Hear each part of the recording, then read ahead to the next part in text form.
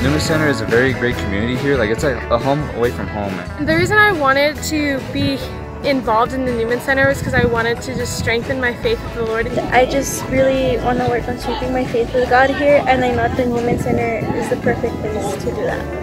Having this Newman Center here allows a place for community and relationships for these college students. Sometimes they can feel really alone and isolated on the college campus, and so to have a place that they can call their home where they can be safe and learn and grow.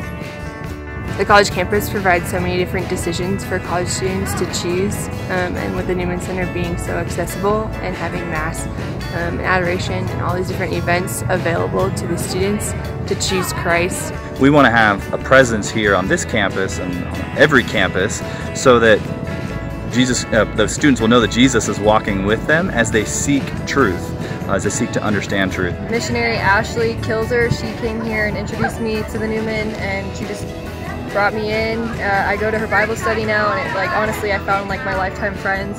Uh, I used to not be very religious at all so coming here and like getting involved and going now every Sunday it really like I guess strengthened my faith in God. It can get very difficult at times with studies and going to the library and staying on top of coursework but I make time for for Christ.